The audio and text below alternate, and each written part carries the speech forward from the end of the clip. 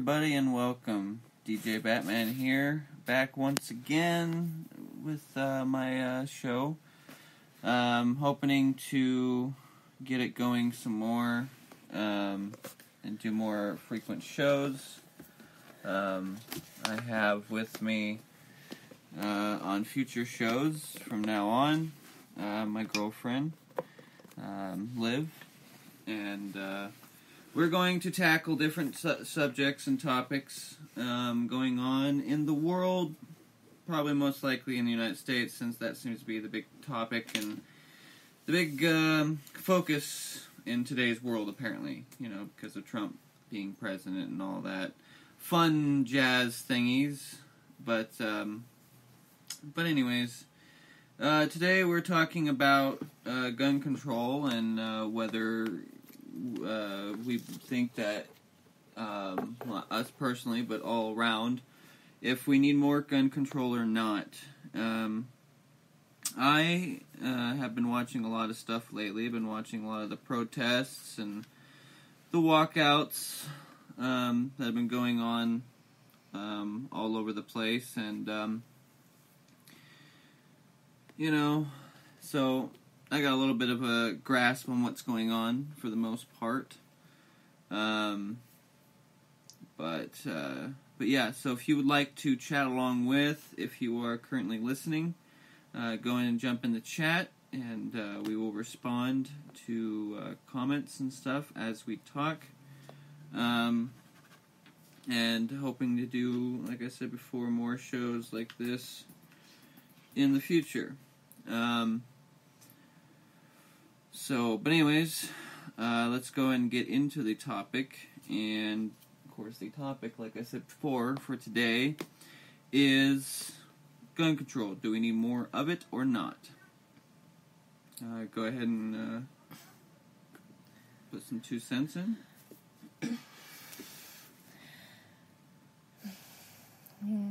So, wh- what do you think? Do you think that we need more gun control, or Um, the process currently in place for obtaining a gun needs to be altered slightly to include classes to obtain the license for the gun, similar to the the classes you have to go through to obtain the license for a car, both potentially deadly weapons.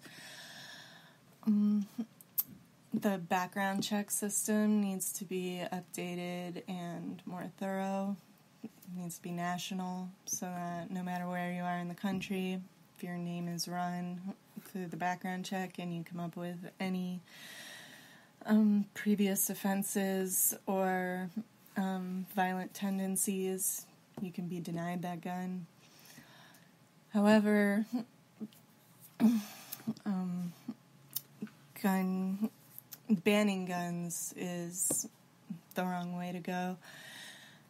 Because even if guns were banned to the civilian populace criminals would still be able to obtain them. And then we'd just be left with an unarmed populace that would be easy targets for any um, criminals Well, I mean, don't you think that it really should come down to uh, certain states should uh, do what other states do? Because um, most states do have, um, they require you to take a gun safety class uh, before getting your gu- gun, along with uh, fingerprints, license, insurance, and stuff like that. So, don't you think that we should more have other states do the same that currently don't have that instead of putting more restrictions. And because i mean because f- far as i know now the process of going through i know here in, in, in, in our state they, you have to go through a, a big background check you know gun safety classes and all that stuff. So don't you think it'd be more just getting those other states to jump on board with that? Yeah.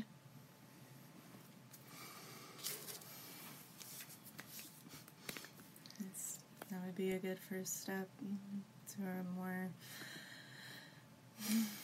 uh, responsible and safe society. All right. Well, yeah. Um, you know, because like I said, um, there are a lot of states um, who do require, you know, more extensive background checks.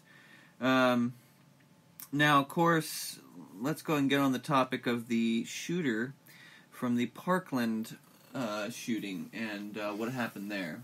So, for me, I always wait at least two weeks before um, jumping in on anything, to be honest, because usually find out more information time a little bit afterwards.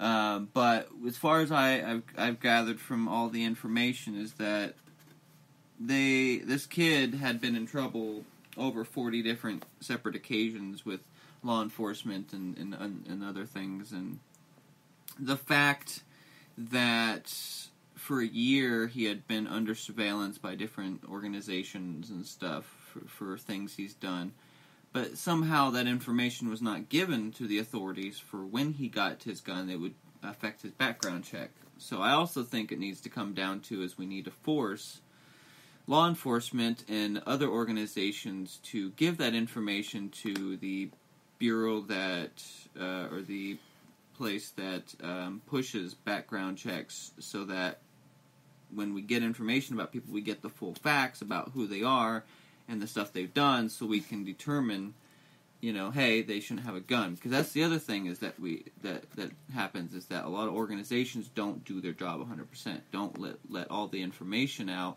so that people can do their job and make sure people don't get stuff they don't need there seems to be a need for some sort of centralized database that health like mental health records criminal records, anything that would be uh, relevant can be uh, all accessed through one service.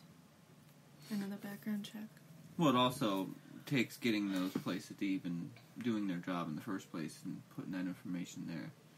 Because mm-hmm. of how private private we've gotten in today's world, uh, a lot of people don't want information out.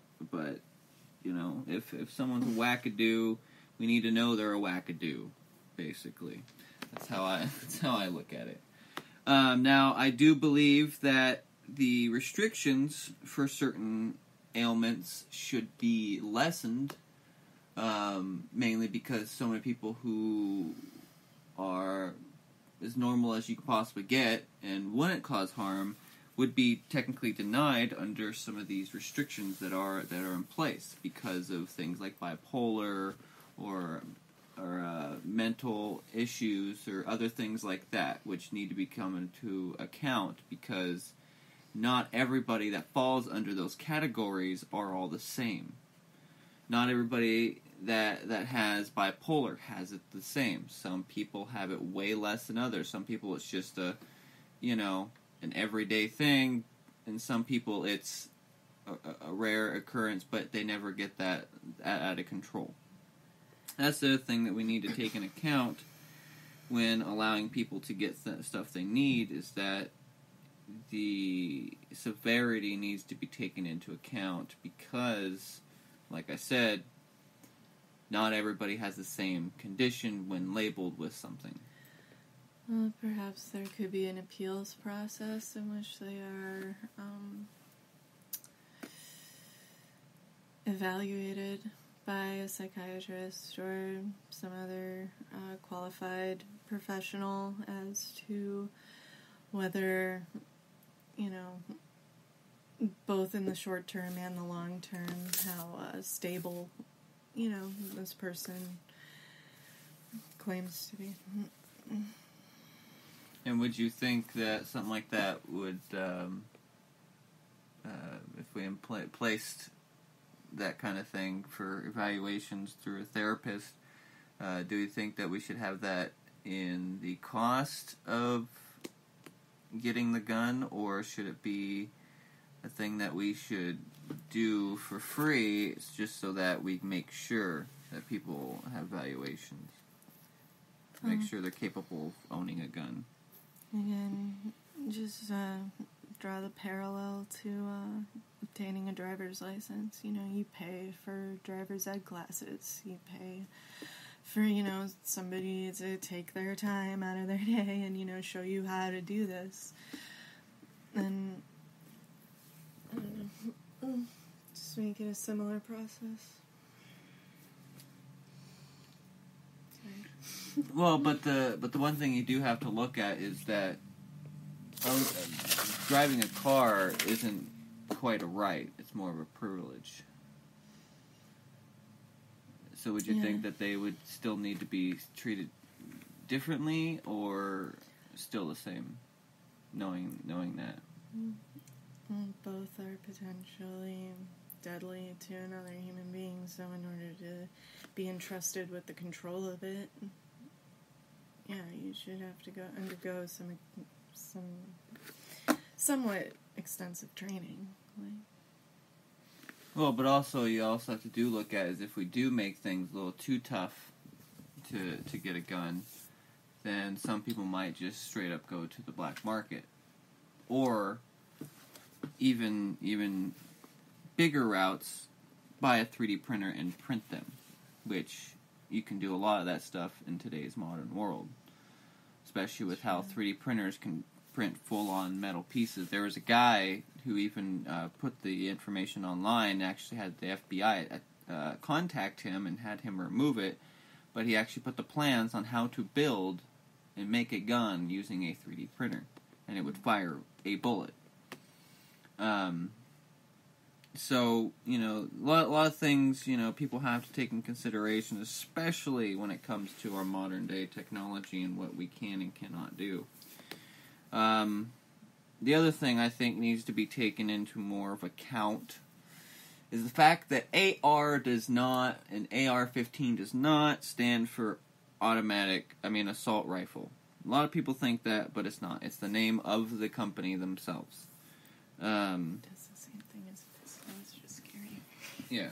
Um, but of course, the one thing I've I've seen a lot is that people who say we need to ban ass- uh, assault rifles always get them confused with semi-automatics.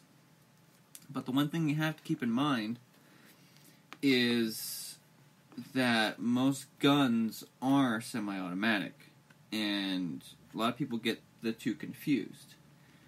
Semi-automatic is every time you pull the trigger, it shoots a bullet. That's basically what most ARs are.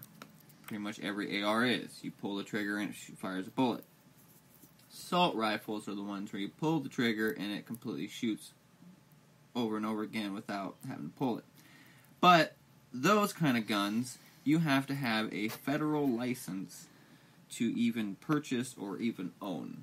You have to go through extensive background checks and many other things to even own an assault rifle. And the, the more ends, most people don't even have an assault rifle because pff, government doesn't want to give you that crap. Um, but um, you know, I, I I feel bad for you know a lot of these a lot of what, what's been going on in schools, but also at the same time, I do believe things need to quit being over exaggerated more than they have been because you know I see all these numbers and you know all these shootings going on, and I kind of wonder if they're as bad as they say they are because it just seems like the media at this point seems to focus on the more destructive situations in our country at the moment to get us to be all freaked out and more worried than ever before when actually if you do some research you'll actually find we're less violent than we have been in a long time we're more educated we're getting a lot smarter than we currently are it's just that people watch the news way too much. Me, I kind of pretty much just tuned off. I pretty much watch the stuff firsthand. If there's a protest going on, I get on a I get on a service and I watch the person with their phone live. So then I'm getting an actual accurate description. It's like with the protests, you know, that happened during uh, when like example like when Trump got elected. You know, in the state I'm in, you know, the the large city they had a bunch of protests and stuff people were claiming that you know like the police were being too much but i watched the stuff live i saw what was going on i saw that you know they were causing damage and and being destructive and you know breaking windows smashing buildings you know it, it's just it's just you know, things need to quit getting out of hand as much as they do. We need to reel ourselves in a bit more and to stop for a second and ask our, ask ourselves is this being portrayed accurately or is it being pushed as a narrative uh, with a bigger picture in mind for what is being uh, currently pushed. Um, because sometimes it makes me wonder when things go on things like this get bigger and bigger when small things happen. And the media um, is um, uh, is pushing you know their stuff more because you know Like, there was a shooting in Texas in which a man used an AR 15 to save a group of churchgoers who were being shot at by an assailant. But you didn't hear about that. You heard about the AR 15 used in the school. Well, yeah, yeah. The well, it's just like the students that didn't want to walk out or are against what's being pushed. Because as far as I've done enough research, and it's and I'm going to tell you, people right now, I don't listen to CNN or Fox News. I'll watch both of them and kind of laugh at them, to be honest, because they they they, they push too much bullshit most of the time. But anyways, there are kids who aren't for all this you know what's going on because these walkouts aren't about you know saying hey we we we feel bad for what happened to the kids. That's a portion of what it's about. But what's really about is about pushing of banning guns in the long run. See he, he, he, here's the thing that kind of upsets me when it comes to this kind of topic. I can go on my facebook feed and, and see people posting stuff like you know we need to ban all guns or we need to ban all all these guns. And then they turn around and they go oh no we're not trying to ban your guns. And i go um didn't you just post that like two days ago that you were trying to ban guns? That that's the thing. I used to consider myself a liberal. I used to consider myself somebody on the left but i completely left that and said you know what? Screw all sides. They're all crazy and dumb because what really ends up happening Black Lives Matter, feminism, liberals, Republicans, conservatives, whatever. Doesn't matter what group you you you you choose. The moment you choose to be with that group, you are picking a side and you are basically telling the other side to go fuck themselves, which I don't think is a good way of starting. I think what we should be doing is sitting down at a table with people who we disagree with it's just like you know it's like i always tell you know you guys i'm going to be telling for the first time but for me i don't like trump either. I don't like any of the candidates to be honest. I thought we were going to be screwed either way. But anyways other than that it doesn't matter if you hate let's say trump for an example. If he wants to talk to you about an issue that is going on and he's the president you fucking talk to him. You don't go fuck you. I'm not going to talk to you because i don't like you right there you you you squash the conversation. You completely tell the other side we're not going to listen to you whatsoever. So then they fight you you fight them and then you're in this constant battle of fighting back and forth and over time you just keep fighting and eventually you fucking forget why the fight even began. It's it's like in the middle east you know between the muslims and the jews how they've been fighting for thousands of years I haven't really fully looked into it. I just want to bring it as an example, but you know, it's just we we have to learn to sit at the table with with our enemy. You know, there's people out there, you know, like like like example like with the KKK. There's people out there who are of African descent who are going into these groups and finding a way to get them to stop being racist because they're trying to come at them from their point of view, but then get them to see how they're seeing it. Same thing we need to do with this, with gun control, is that we need to see it from the side, from the people who don't live in cities, people who, you know, a b- big por- portion of this population who don't live in cities, who live on farms or in rural areas or, you know, in areas where, you know, they need that kind of protection because they got a lot to lose. Um, You know, so th- th- there there's a lot, especially now that weed's becoming more legal. More and more people are going to want to steal that stuff. You know, I, I remember back in the day, people constantly coming up to me, "Hey man, you want to go help rob some dude's plants?" And I'd be like, "Fuck no," because I'm gonna get my ass shot. you know, because to be honest, people have the right to protect themselves and their property. Um, now, you know, I, but yeah, I, I'm I'm just kind of going all over the place at this point, but but my main focus is that you know we need to learn to sit on either sides of the table and talk, basically. I've seen some videos on YouTube where they do that, and I and I love it, and it's great, and it's amazing because it gets people from each side to be able to talk to each other. Now, does it always end up perfect? Well, not really, but that's because the the conversations don't go on long enough.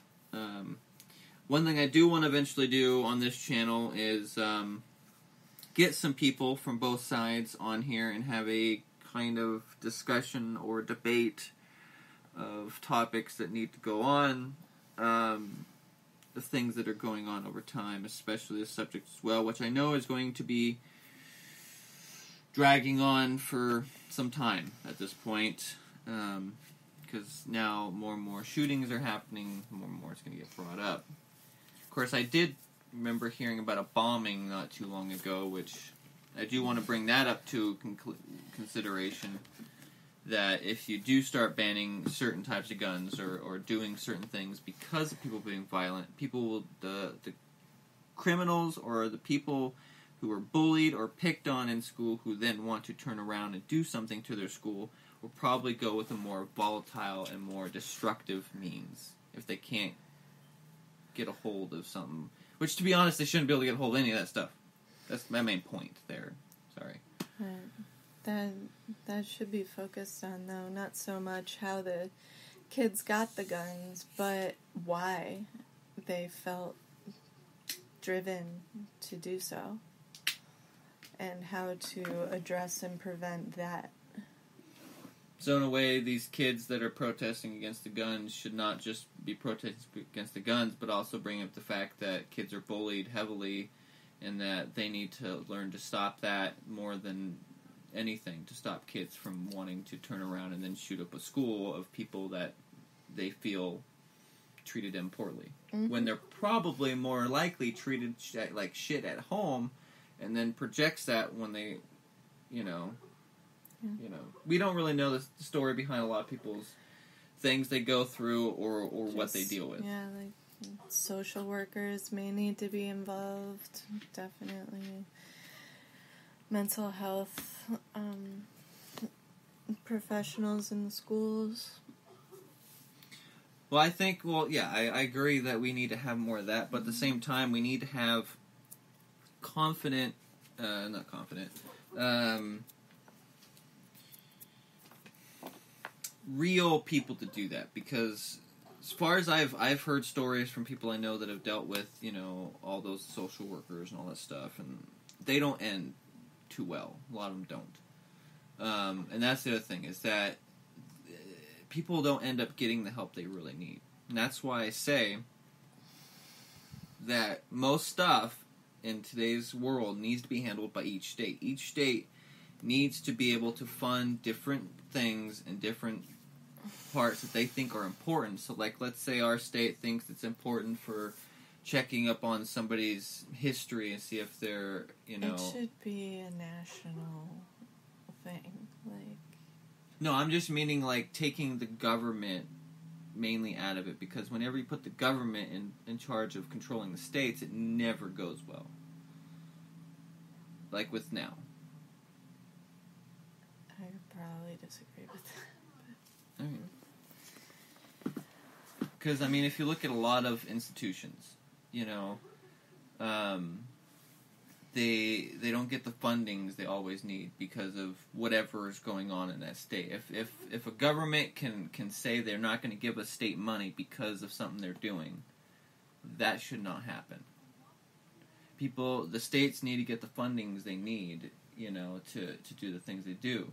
Plus, at the same time, there needs to be a regulation that the states don't focus on certain parts of their state more than others. Like I mean, example, that's part of the problem is that it's so like segregated. Like each state doing its own thing. Like how are the databases supposed to be connected for you know the background checks? How are the classes that you need to go through to get the licenses to be regulated and established and unless it's across the country like well, no, you would have each state contact each other and they would work with each other because it should be that the sounds states. way more complicated Well, I mean, it may sound more complicated, but in the long run, it's it's easier to take the government's hand out of it and let the states.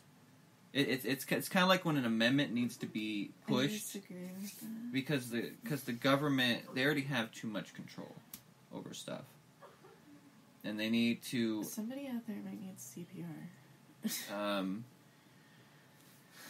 um,